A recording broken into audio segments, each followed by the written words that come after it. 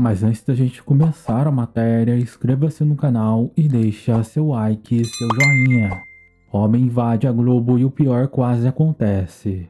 No final da tarde desta quarta-feira, um homem invadiu a sede da TV Globo no Rio de Janeiro, onde ele fez a repórter Marina Araújo de refém com uma faca. O homem exigiu ver Renata Vasconcelos e, segundo relatos, assim que ela chegou, ele abaixou a faca e acabou sendo preso. Ninguém ficou ferido. Seguranças imobilizaram o rapaz e chamaram a polícia e não se sabe ao certo como o homem conseguiu invadir a sede da emissora.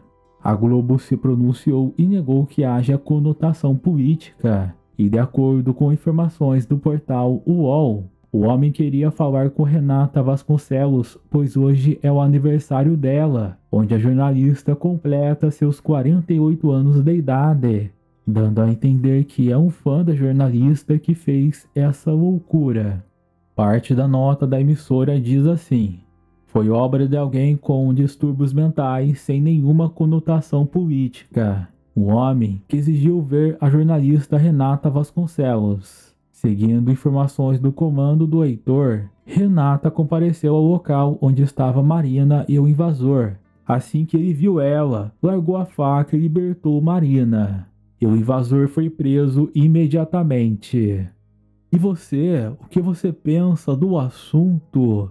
Deixe seu comentário, ele é sempre importante e curta o vídeo.